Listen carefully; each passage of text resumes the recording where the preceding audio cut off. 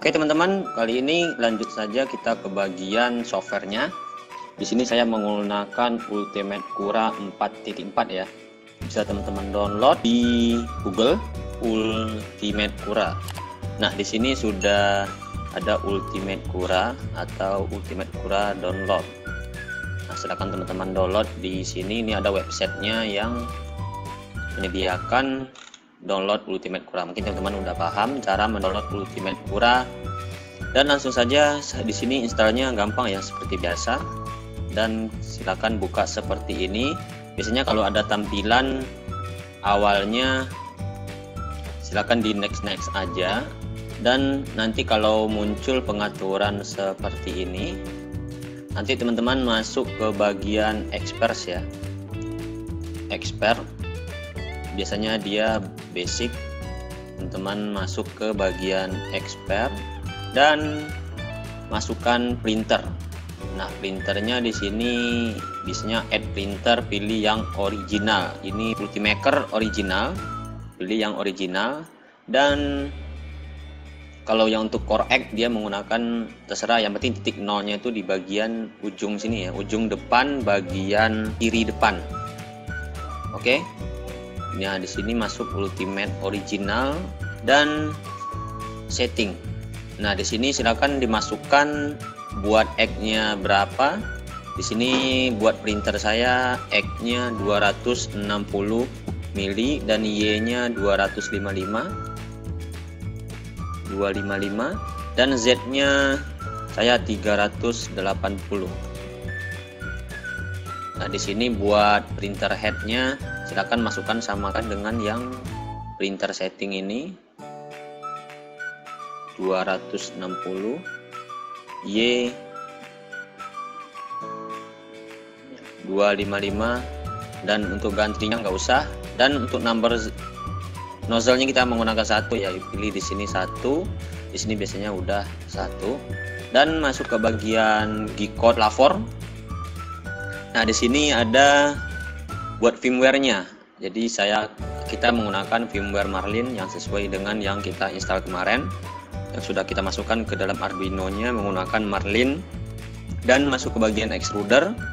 Nah, di sini masukkan nozzle-nya berapa nozzle ukuran nozzle teman-teman? 0,4, 0,6 atau 0,8 mili dan untuk material diameter filamennya masukkan di sini 1,75. Saya menggunakan 1,75 dan ya mungkin segitu saja untuk settingan. Silakan di close dan close. Nah printernya kurang lebih seperti ini. Jadi titik nolnya itu di bagian ujung sini ya. Buat X, Y dan Z nya di bagian sini. Jadi buat X nanti dia ke arah pinggir sini Y ke depan dan Z nya ke atas Oke, mungkin untuk di sini kurang lebih seperti itu dan kita masukkan file STL. Nah, untuk mendapatkan file STL-nya ini kita masuk ke Google. Jadi teman-teman saya mau mendesain untuk kalibrasi ya. Jadi tulis saja di sini XYZ STL dan klik di bagian sini dan download. Kita download, kita tunggu sebentar dan file-file lain juga banyak di sini ya atau buat boneka buat figur-figur yang lain cover atau segala macam bisa teman-teman download di sini. Nah di sini akan saya download dan saya simpan di bagian data E. Dan di sini langsung diekstrak saja. Sini di E. Oke. Ini filenya dan kita masukkan ke ultimate kuranya klik bagian sini tadi. Nah ini adalah file yang sudah kita download tadi terdiri dari Z, X, dan Y nya nah setelah itu kita masuk ke bagian atas kanan sini. Nah, di sini untuk profil defaultnya yaitu kita menggunakan 0,2 kenapa tidak 0,4? Karena nanti kalau kita menggunakan 0,4 nanti pas nempel di bednya itu tidak oval. Jadi dia langsung bulat. Itu ini kenaikan Z ya.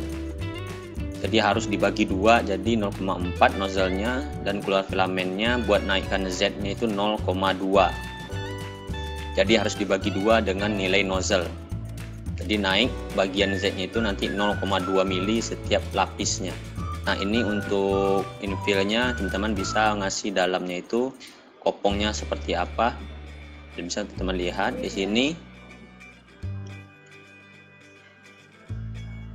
nah saya klik review nah dan saya akan tarik ke arah bawah. Nah ini bisa teman-teman lihat saya menggunakan 30% bagaimana jika kalau menggunakan yang 10% dia akan lebih besar kotak-kotaknya itu. Nah seperti ini. Kalau saya 80 mungkin lebih rapat ya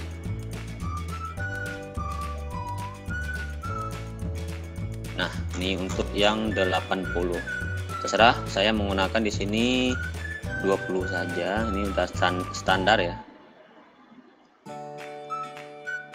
Udah klik slice.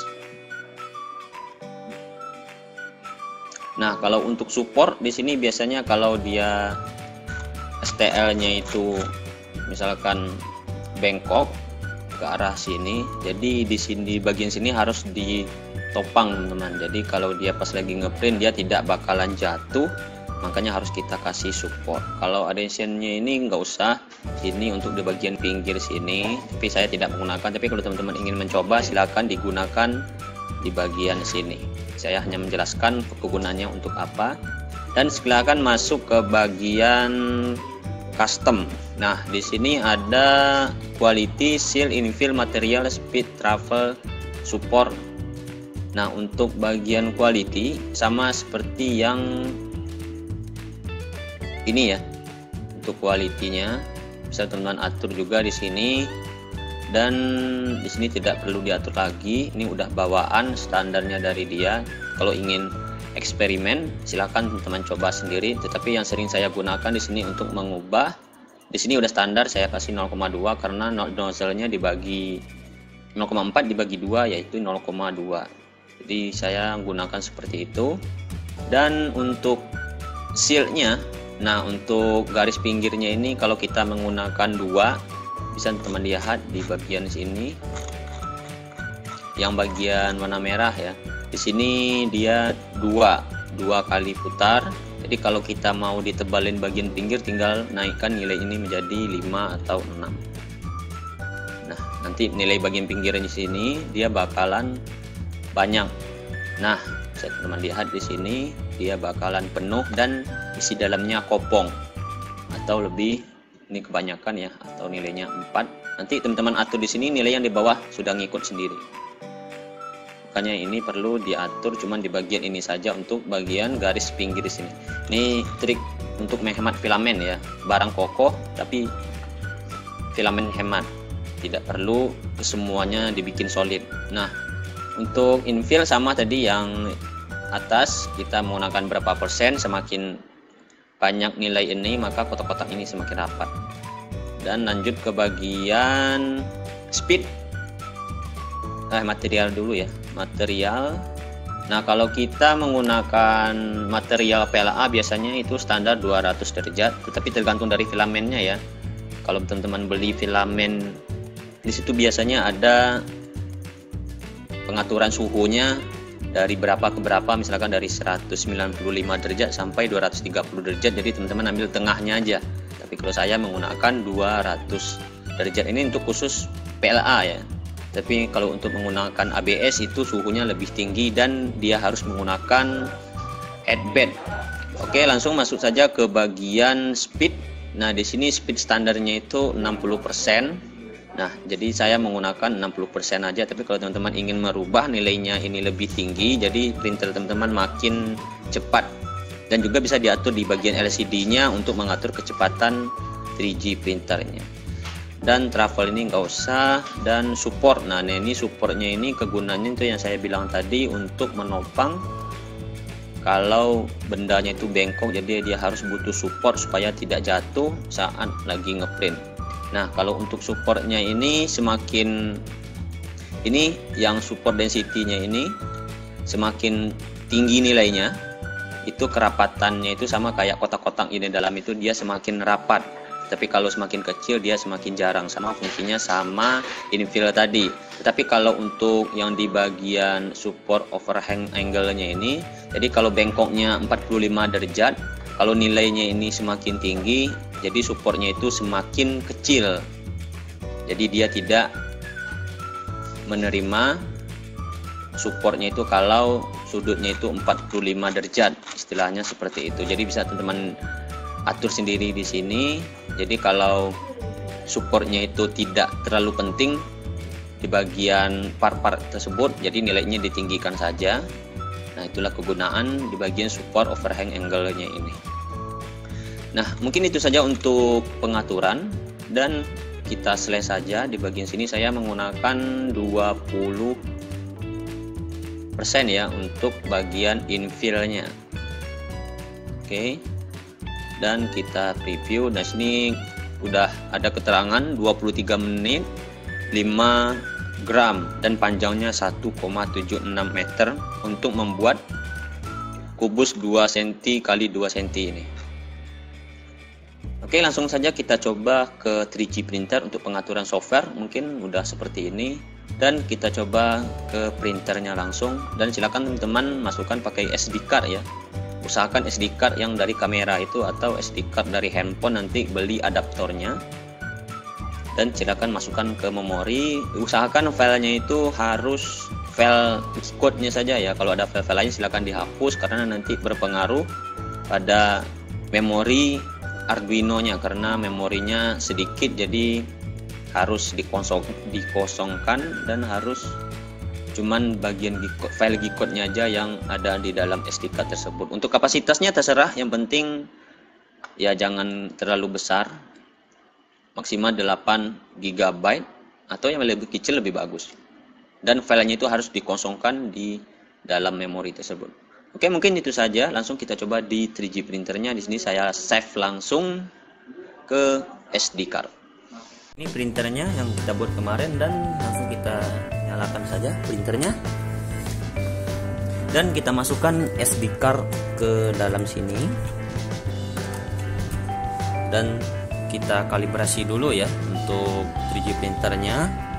Kita masuk ke bagian auto home filenya tadi ya XYZ calibration kita masuk ke bagian prepare dan kita panaskan. Nah setelah kita panaskan supaya tidak menunggu lama langsung kita auto home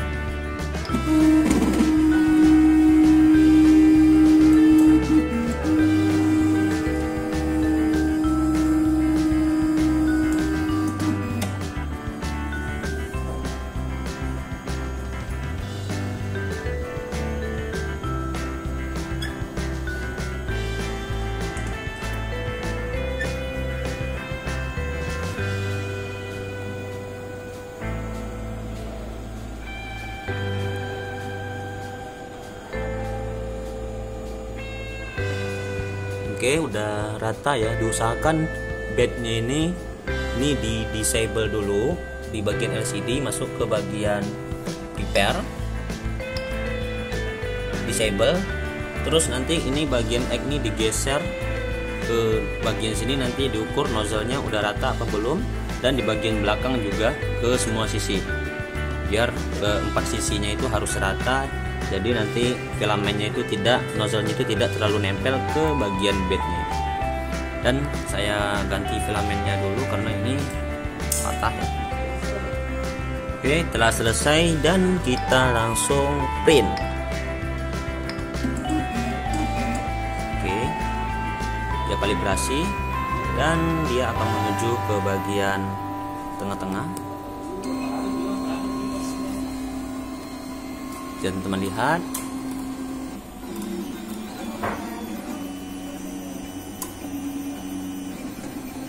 Nah dia sudah mulai ngeprint.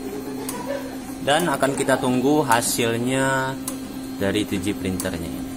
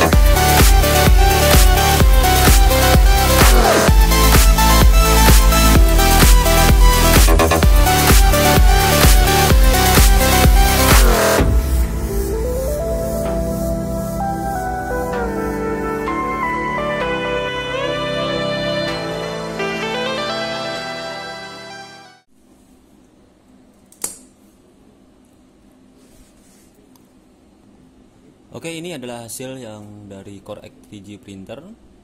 Ini untuk bagian X, Y, dan Z-nya. Ini mungkin untuk hasil di Core X ini ya di bagian pinggir sini bisa teman-teman lihat.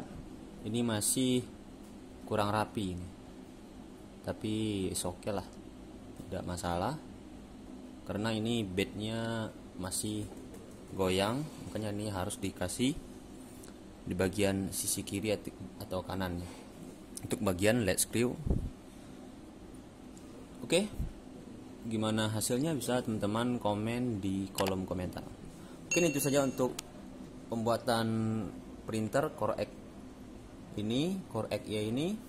Jika ada pertanyaan atau yang ingin ditanyakan silahkan tanyakan di kolom komentar. Saya Dani Project sampai ketemu di video selanjutnya